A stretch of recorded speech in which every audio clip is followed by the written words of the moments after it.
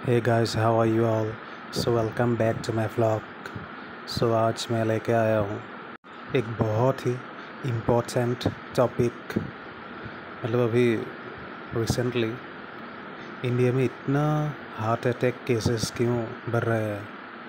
Specially in young generation young guys मतलब खरे खरे गिर जाते हैं जिम कर रहे हैं, वहाँ पे खरे खरे गिर जाते हैं। एयरपोर्ट में गिर जाते हैं मतलब कहीं पे भी। ऐसे खरे खरे गिर जाते हैं।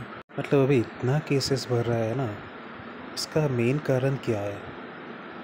अभी ऐसे बोलना चाहे तो बहुत कुछ है। मेन थिंग है डाइट बैलेंस डाइट अगर ज़्यादा फास्ट फ़ूड ऑयली फ़ूड ये सब कंज्यूम करेंगे ना, तभी क्या होता है? कोलेस्ट्रॉल लेवल हाई हो जाता है, फिर ब्लॉकेज हो जाते हैं।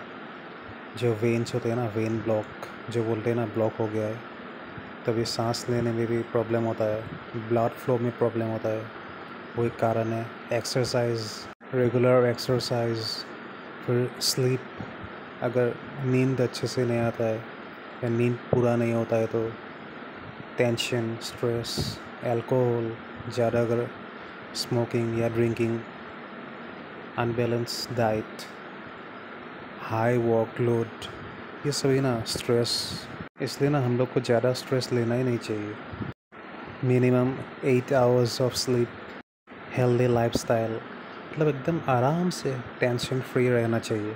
और ये है prevention healthy diet no smoking regular BP checkup regular exercise regular sugar checkup अगर बीपी और शुगर कंट्रोल में रहेगा ना तो भी बहुत फ़ायदा है।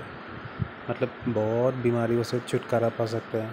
और हेल्दी डाइट रेगुलर एक्सरसाइज तो मस्त पॉजिटिव थिंकिंग मतलब कुछ स्ट्रेस लेना ही नहीं चाहिए।